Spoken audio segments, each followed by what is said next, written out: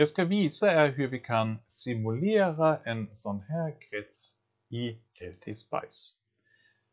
Vi har en likspänningskälla på 10 volt och vi har ett motstånd på 5 kilo och sen två motstånd på 10 kilo var som är parallellkopplade.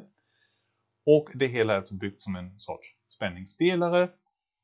Vi kan enkelt i huvudet räkna ut vad vi kommer ha för strömmar och spänningar i den här kretsen. Om vi tittar på den här parallellkopplingen så har vi två lika stora motstånd på 10 kilo ohm som då beter sig på samma sätt som ett motstånd som har halva värdet, alltså 5 kilo. Och då har vi alltså 5 kilo ohm i serie med 5 kilo ohm. Det betyder att vi har en spänningsdelare med två lika stora motstånd och det betyder att vi får två lika stora delspänningar som är hälften av de pålagda 10 volten.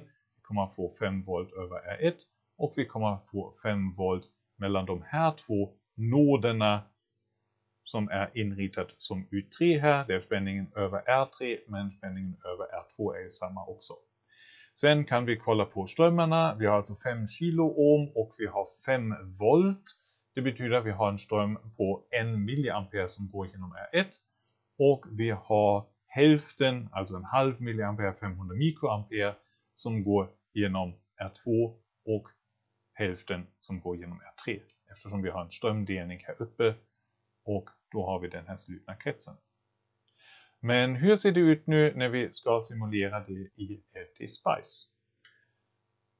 Om vi startar LT-Spice så ser vi först den här bakgrundsbilden och vi ser i Windows-versionen den här verktygsraden men alla symboler är gråa, vi kan inte använda dem.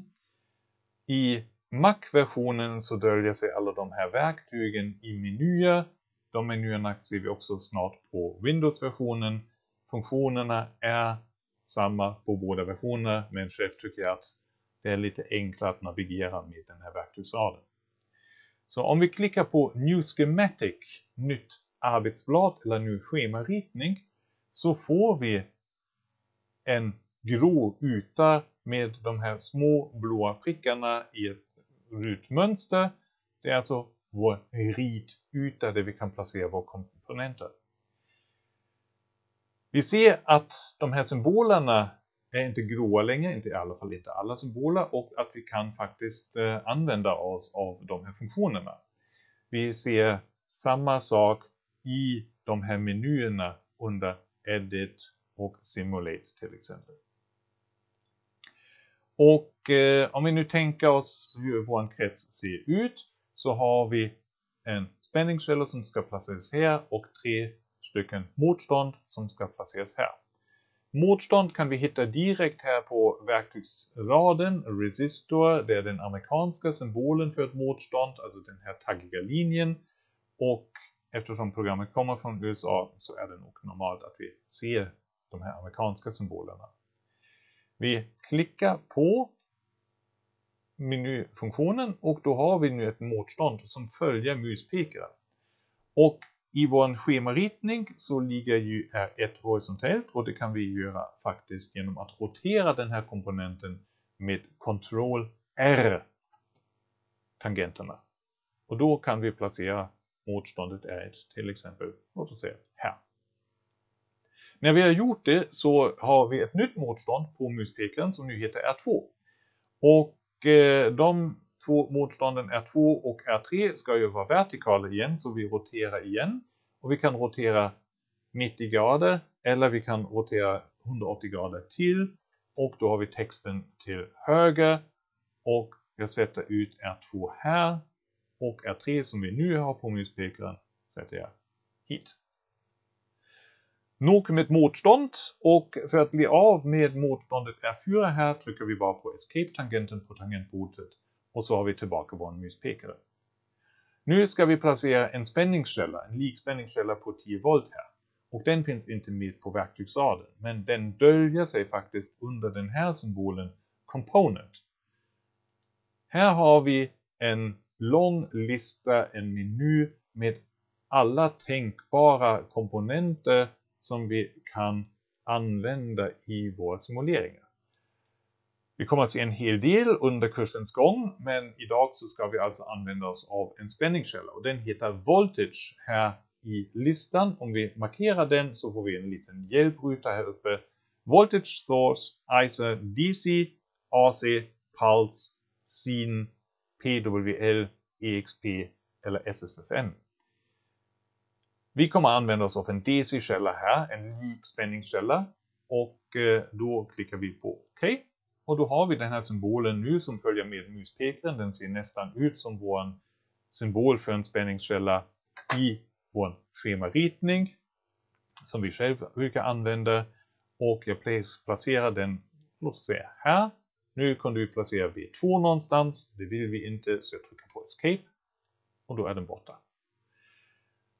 Det som saknas nu är att berätta för Spice hur de här komponenterna är kopplade till varandra. Det betyder anslutningstrådar. Och de hittar vi, eller de drar, de ritar vi med hjälp av den här blyertspennan som vi ser här. Och då går vi och markerar. Vi kan se att vi kan dra horisontella och vertikala streck.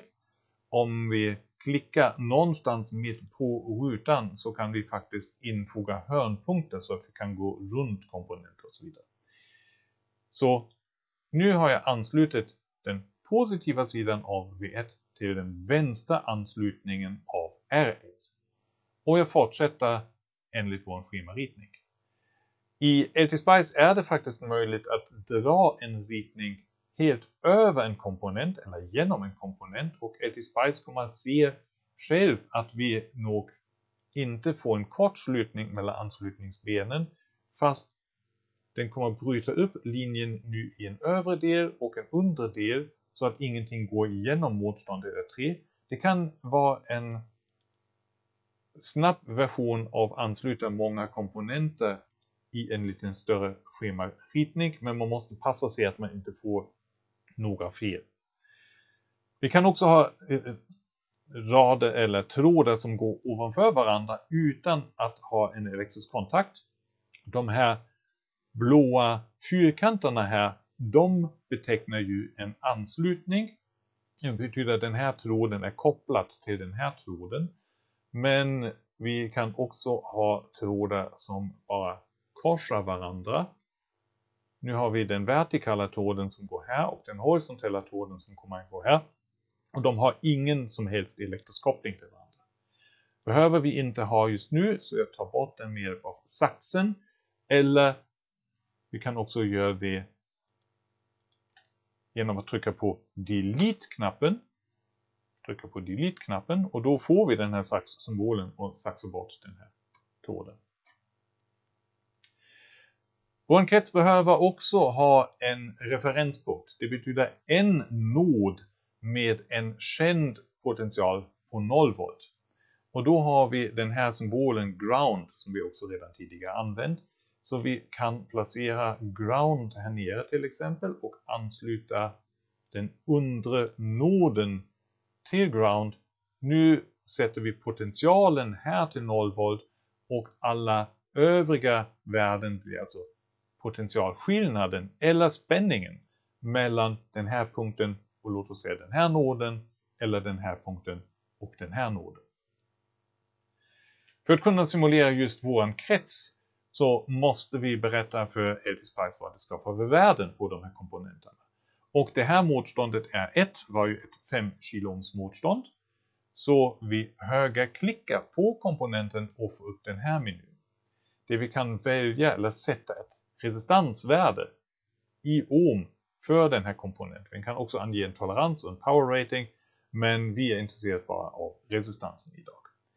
Och det ska vara 5 kilo ohm, eller 5000 ohm, så vi kunde skriva 5000, men vi kan också helt enkelt skriva 5K. Etispice känner till alla SI-prefix och vi kan alltså skriva in 5 kilo ohm som 5K. Vi behöver inte skriva att det är ohm, för den resistans och en resistans har enheten ohm så det LT Spice medveten om. De här två motstånden skulle vara på 10 kilo ohm var så vi kunde skriva 10 000. Vi kan faktiskt också skriva 10 E3. Det funkar också. eller 1E4 funkar också. Men eh, för översiktlighetens skull är det ju bättre att hålla sig till ett och samma sätt att skriva sina värden i samma krets här. Så vi skriver 10 kilo ohm. Och så skriver vi 10 kilo ohm här också. Om vi vill ange 10, kilo ohm, 10,0 kilo ohm till exempel, så är det viktigt att använda en punkt och inte ett komma. Healthy Spice är ett amerikanskt program och i nästan alla internationella sammanhang så används punkt för decimal avskiljaren och inte komma. Men här behöver vi inga decimaler så vi sätter 10K. Vår spänningskälla, den skulle ha en spänning på 10 volt likspänning. Och då högerklickar vi på den och får upp den här rutan där vi kan ange ett DC-värde, ett likspänningsvärde på 10. Och vi kunde ange en serieresistans så vi kan låta LT-Spice simulera en Thevenin-källa i det här fallet. Men vi vill ha en idealkälla på den här platsen så vi väljer 10 volt utan ange någon resistans. Och då har vi den färdiga kretsen. Om vi nu vill att LT-Spice beräknar våra strömavspänningar i den här kretsen så ska vi simulera kretsen. Och då finns det menyn Simulate och symbolen Run. Och som ni ser så har vi exakt samma symbol här på verktygsraden också, Run. Och om vi gör det så frågar Spice efter vilken typ av simuleringar vi vill ha genomfört. Vi har sex olika valmöjligheter här. Vi har en transient och en AC-analys. Vi har en DC-svep-funktion. Vi har en berusrelaterad simulering. Vi har en DC-överföringsfunktion. Men det vi är intresserade av nu är faktiskt den här sista punkten i listan. Beräkna DC-arbetspunkten och behandla kondensatorer som öppna kretsar och Eh, spola spolar som kortslutningar. Så titta på den här kretsen men beräkna bara hur likströmmar och likspänningar kommer att bete sig. Vi trycker på OK. Och vi får upp den här listan som är redan den färdiga simuleringen. Alltså här har vi alla resultat. Vi ser att vi har två stycken spänningsvärden, voltage, och fyra stycken strömmar som Spice har räknat ut. Strömmarna är relativt lätt att tolka. Vi har IR1, IR2 och IR3 som är alltså strömmen genom respektive motstånd. Och där kan vi läsa av att IR1 är minus 0,01, IR2 är 0,005 och IR3 är 0,05. Den här listan är oftast inte särskilt användbar för vi vet inte riktigt vad som försiggår om vi bara tittar på den här siffrorvärden. Så vi stänger den här listan och tittar igen på vårt schema här. Om jag ställer mig med muspekaren nära en sån sladd som vi har dragit här, en tråd, då ser vi nere i hörnet en information. This is node N001. DC-arbetspunkt är 10 volt. Om jag ställer mig hit så står det att this is node N002 och arbetspunkten är på 5 volt. Precis som vi har räknat ut i förväg också. Så då har vi våra spänningar, alltså våra potentialskillnader mellan den här punkten, this is ground, och de här två noderna som vi har i kretsen. Men vi kan också ställa oss med muspekaren på ett motstånd. Och då står det faktiskt att den här komponenten har en ström på minus 1 mA genom sig. Och det här motståndet har en ström på 500 mikroampere och det här har 500 mikroampere.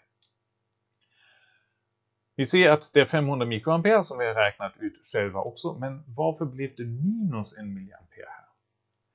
Komponenterna som motstånd har en orientering i SPICE. Vi ser inte det på symbolen, men SPICE räknar den ena, ena anslutningsbenet som positivt och det andra som negativt. Och SPICE har inte direkt koll på vad vi, eller hur vi har anslutit den här i ett större sammanhang. Om vi går till Move här så kan vi faktiskt ta en sån komponent och rotera den två gånger. Så nu sitter den åt andra hållet. Och strömmen ska nu gå åt andra hållet genom den här komponenten. För vi har bytt ut anslutning 1 och anslutning 2 mot varandra. Om vi kör om vår simulering och klickar bort det här fönstret och ställer oss ovanför komponenten så står det nu en positiv ström på 1 mA. Strömmen genom spänningskällan anges som minus 1 mA och det är på grund av att SPICE räknar ut hur mycket ström som lämnar den här spänningskällan. Vi kan skriva ut de här värden, i alla fall spänningsvärden, också i vår schemaritning här genom att vi ställer oss med muspekaren nära en sån ledning och högerklickar. Då får vi upp en liten menylista här. Och här har vi en display och sen place OP data label. Den tillåter oss att placera ett etikett som visar resultatet av vår simulering för den här noden. Som vi ser så tar det mer tid att simulera den här enkla kretsen i SPICE än att göra det för hand. Men fördelen med LT-SPICE är nu att vi helt enkelt kan klicka på till exempel R2 här och sätta den till ett annat värde. Låt oss säga att vi sätter R2 till 5 kilo. Nu måste vi räkna ut om vi vill räkna för hand vad parallellkombinationen av 5 kilo och 10 kilo är och sen räkna ut hela spänningsdelningen igen. I LT Spice är det bara en knapptryckning och så har vi resultatet att den här spänningen ändrar sig till 4 volt. Vi kan titta på strömmarna och då ser vi att vi har en högre ström genom R1 nu på 1,2 mA och vi har 800 mikroampere som går genom R2 och 400 mikroampere som går genom R3. Och eftersom R2 är hälften så stor som R3 så, så är det ju klart att strömmen genom R3 ska vara hälften så stor som strömmen som går genom R2. Så genom att kunna snabbt ändra här så ser vi fördelen med att ha ett simuleringsprogram. Vi behöver inte börja om med vår beräkning och speciellt om vi har mycket komplicerade kretsar så är det mycket enklare att köra en simulering än att räkna.